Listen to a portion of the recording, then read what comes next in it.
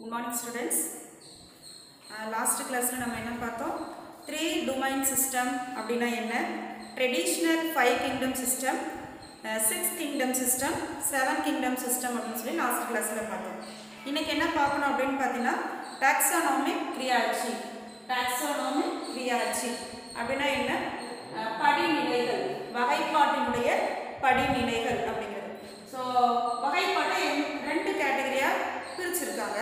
First இதில் என்ன இருக்கு அப்படின்னு பார்த்தோம்னா இந்த பயோலாஜிக்கல் கிளாசிஃபிகேஷன் இந்த taxonomical hierarchy includes seven major categories அப்போ எத்தனை மேஜர் கேட்டகரியாக பிடிக்கிறாங்க ஃபர்ஸ்ட் அப்படின்னு பார்த்தோன்னா seven major categories first so இந்த டாக்ஸானமி என்ன பண்ணிட்டாங்கன்னா செவன் மேஜர் கேட்டகரிஸ் பிரிக்கிறாங்க என்னென்ன phylum class order kingdom phylum class order family genus and species so அப்படி எத்தனை மேஜர் கேட்டகரியாக பிரிக்கிறாங்க பார்த்தீங்கன்னா செவன் படிநிலைகள் அப்படின்னா என்ன ஓவரால் இருக்கக்கூடிய விலங்குகளை ஸோ அந்த ஏழு படிநிலைகளுக்குள்ள கொண்டுட்டு வராங்க.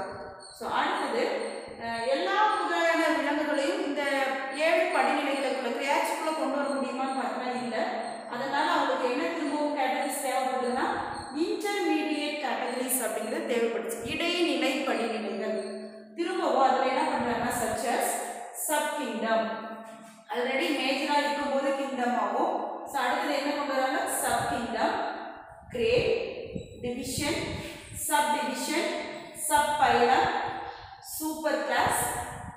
subclass superorder superclass, order superfamily subfamily subspecies இப்படி என்ன பண்ணியிருக்காங்க பார்த்தீங்கன்னா ரெண்டு வகையை பிரிச்சிருக்காங்க.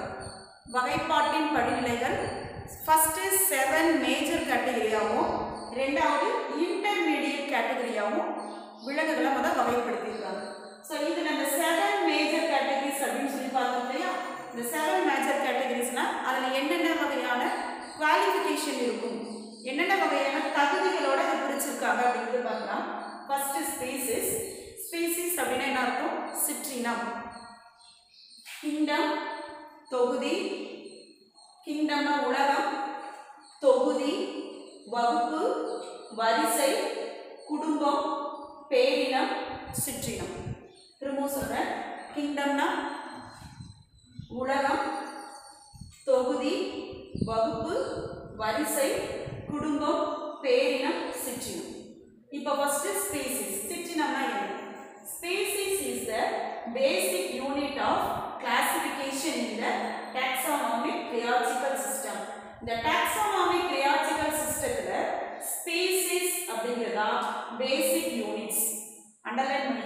ஒரு வகைப்பாட்டின் அடிப்படை அழகு அப்படின்னு சொல்லி எதை சொல்லலாம்? ஸ்பீசிஸ் ஒரு சின்ன ஸ்பீசிஸ்னுடைய டெவலப் தான் என்னவாக மாறி இருக்குன்னா உலகமாக மாறி இருக்கு கிங்டம் அப்போ இதுக்கு அடிப்படை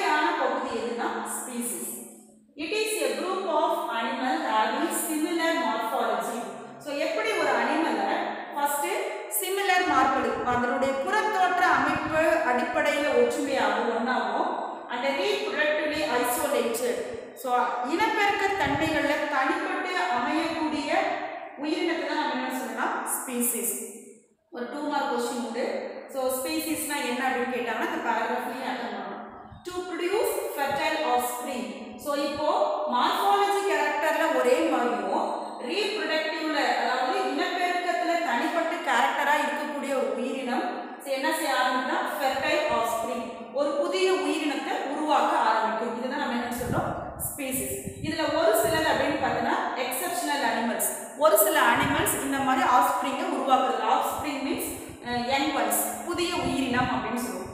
So which can produce sterile so ஒரு சிலதில் பார்த்தீங்கன்னா மலட்டு தன்மையுடைய ஆஃப் ஸ்ப்ரிங்கை உருவாக்குது. Because of mating which closely related species so இந்த ஆஃப் ஸ்ப்ரிங் அதாவது ஸ்டிரைல் மலட்டு தன்மையுடைய அந்த உயிரினத்தை உருவாக்குறதுக்கு என்ன காரணம் பார்த்தீங்கன்னா நெருங்கிய தொடர்புடைய உயிரினங்களோட ஒன்றா இனம் கலக்கிறதுனால அது அது அது ப்ரொடியூஸ் பண்ணக்கூடிய ஆஃப்ஸ்பிரிங் என்னவா மாறிடுது பார்த்தீங்கன்னா மலட்டு தன்மையோட மாறிடுது. ஸோ இதை ஹியூமன் பீங்ஸ் நம்ம கொண்டுட்டு வந்தோம்னா க்ளோஸ்லி ரிலேட்டட் ரிலேஷன்ஸ் என்ன பண்ணக்கூடாதுன்னு சொல்லுவாங்க? மேரேஜ் பண்ணக்கூடாதுன்னு சொல்லுவாங்க. அதுக்கு காரணம் என்ன அப்படின்னு சொல்லி கேட்டீங்கன்னா மார்ஃபலாஜிக்கல் கேரக்டரில் ஒரே மாதிரி இருக்கும். ஆனால் ரீப்ரொடக்டிவ் பார்ட்டில் எப்படி இருப்பாங்கன்னா ஐசோலேட்டட் தனிப்பட்ட விதமாக தனித்து இருப்பாங்க. ஸோ அப்படி இருக்கிறவங்க நம்ம மேரேஜ் பண்ணாமல் ஸோ அதுக்கு அப்புறம் என்னவாக மாறும்? ஸ்டிரைல் ஆஃப்ஸ்ப்ரிங்கா மாற ஸ்டிரைல் ஸ்க்ரீன் அதாவது மலட்டு தன்மையுடைய உயிரினங்கள் உருவாகிறதுக்கு வாய்ப்பு இருக்கு அப்படிங்கிறாங்க ஸோ அப்படி கிராஸ் பிட்வீன் அப்படி நம்ம அந்த மலட்டு தன்னுடைய உயிரினங்கள் எது எதெல்லாம் அப்படின்னு சொல்லி பார்த்தீங்கன்னா கிராஸ் பிட்வீன் எதை எதோட சேர்றாங்க அப்படின்னு சொல்லி பார்த்தீங்கன்னா ஃபர்ஸ்ட் ஒன் பாரு மேல் ஹார்ஸ் அதாவது ஆண் குதிரையும் ஃபீமேல் டாங்கி பெண் கழுதையும் ஒன்றா சேர்க்கும் போது ஹின்னி அப்படின்னு சொல்லக்கூடிய மலட்டு தன்மையுடைய ஒரு உயிரினம் உருவாகுது. இந்த ஹின்னி அடுத்தது யங் ஒன்ஸ் ஆஃப்ஸ்பிரிங்கை உருவாக்குமான்னு கேட்டீங்கன்னா உருவாக்காது ஸோ இப்போ யார் யார் வந்து மேட்டிங் இனக்கலப்பு செய்கிறாங்கன்னு பார்த்தீங்கன்னா மேல் காசோ அண்ட் ஃபீமேல் டாங்கி இது ஒன் மார்க்ல கேட்பாங்க அண்டர்லைன் பண்ணி வச்சுக்கோ. அடுத்தது மேல் டாங்கியும் அண்ட் ஃபீமேல் ஹார்ஸும் ஒன்னா மேட்டிங் செய்யும்போது மியூல் அப்படின்னு சொல்லக்கூடிய ஸ்டிரைல் ஆஃப் ஸ்ப்ரிங் உருவாகுது. இதுக்கப்புறம் மியூல்னால அனதர் எங்கோன்ஸை ப்ரொடியூஸ் பண்ண முடியுமான்னு கேட்டீங்கன்னா முடியாது. அடுத்தது மேல் லயனையும் அண்ட் ஃபீமேல் டைகரையும் ஒண்ணா இணைக்கும் போது லைக்கர் அப்படின்னு சொல்லக்கூடிய ஆஃப் ஸ்ப்ரிங் உருவாகுது. அடுத்தது மேல் டைகரையும் அண்ட் ஃபீமேல் லைனையும் ஒண்ணா இணை இணைக்கும் போது டைகான் அப்படின்னு சொல்லக்கூடிய உயிரினம் உருவாகுது இது எல்லாமே கிராசஸ் பிட்வீன் அதே தொடர்புடைய ரிலேட்டட் ஸ்பீசஸ்க்குள்ள மேட்டிங் நடக்காம இனக்கலப்பு செய்யாம இது என்ன செய்ய ஆரம்பிக்குதுன்னா கிராஸ் பிட்வீன் ஒரு உயிரினமும் இன்னொரு உயிரினமும் ஒண்ணா இணையும் போது ஸோ ஸ்டிரைல் அனிமல்ஸ் மலட்டு தன்மையுடைய உயிரினங்கள் உருவாகுது அதுக்கு தான் யார் யாரோட சேர்றாங்க சேர்ந்தா என்ன வகையான உயிரினம் உருவாகுது அப்படிங்கறத நமக்கு நம்ம புக்ல ஒரு பாக்ஸ் போட்டு கொடுத்துருப்பாங்க பார்த்துக்கோ அடுத்தது ஸ்பீசிஸ் பார்த்தாச்சு. அடுத்தது ஜீனஸ் ஜீனஸ் அப்படின்னு சொன்னா என்ன? பேரினம். It is a group of closely related species so ஸ்பீசிஸ்னுடைய நெருங்கிய தொடர்புடைய உயிரினத்தை தான் நம்ம என்ன சொல்லலாம் ஜீனஸ் அப்படின்னு சொல்லி சொல்றோம். இது எப்படி உருவாயிருக்கும்? ஸ்பீசிஸ் காமன் ஆன்சிஸ்டர் பொது மூதாதையர்லேருந்து உருவாக்கப்பட்டது தான் ஜீனஸ் அப்படிங்கிறது. In some genus there is only one species so இதில் இந்த ஜீ ஜீனஸ் ரெண்டு வகையாக பிரிச்சுக்கலாம். நம்பர் ஒன் என்னன்னு கேட்டீங்கன்னா monotypic genus another one polytypic genus monotypic அப்படின்னு சொன்னா என்ன அர்த்தம்? ஒரே ஒரு தன்மையுடைய பேரினம் இன்னொன்று பல தன்மையுடைய பேரினம் அப்படின்னு சொல்லி ரெண்டு வகையை பிரிச்சுக்கலாம். மோனோடைபிக் ஜீனஸ்னா என்ன அர்த்தம்? ஒரு சில ஜீனஸ் ஒன்லி ஒன் ஸ்பீசிஸ் ஒரே ஒரு வகையான சிற்றினத்தை மட்டும் உருவாக்குச்சு அப்படின்னு சொன்னா அது monotypic for example red panda சிவப்பு கரடி அப்படிங்கிறது ஒண்ணுதான் இதுல இருந்து அடுத்தது ஒரே மாதிரி ரிலேட்டட் ஸ்பீசஸ் என்ன பண்ண முடியாது உருவாக்க முடியாது ரெட் பாண்டாவுடைய நேம் என்னன்னு பார்த்தீங்கன்னா ஜீனஸ் நேம் ஐலூரஸ் அப்படின்னா அப்ப ரெட் பாண்டாவுடைய பயாலஜிக்கல் நேம் என்னன்னு கேட்டீங்கன்னா ஐலூரஸ் ஃபல்சஸ் அப்படின்னு சொல்லி பேர் அடுத்தது பாலிடைபிக்னா என்ன இருக்கும் if there are more then one species in the genus it is known as polytypic genus அப்போ அஹ், ஒன்று அல்லது ஒன்றுக்கு மேற்பட்ட சிற்றினங்கள் ஒன்று சேரும் பொழுது ஸோ அடுத்த வகையான செய்யும்பொழுது பொழுது நிறைய வகையான உயிரினங்கள் உருவாகக்கூடிய தன்மை தான் என்ன சொல்றோம் பாலிடைபிக் எக்ஸாம்பிள் கேட் கேட்டை நம்ம என்ன ஜீனஸ்னு சொல்லுவோம்? ஃபெலிக்ஸ் அப்படின்னு சொல்லுவோம். ஆனா ஃபெலிக்ஸ் மாதிரியே கேட் மாதிரி நிறைய வகையான உயிரினங்கள் இருக்கு. ஸோ என்னென்ன வகை அப்படின்னு பார்த்தீங்கன்னா டொமஸ்டிகா என்னென்ன ஸ்பீசிஸ் ஃபெலிக்ஸ் டொமஸ்டிகான்னு சொல்லுவோம்.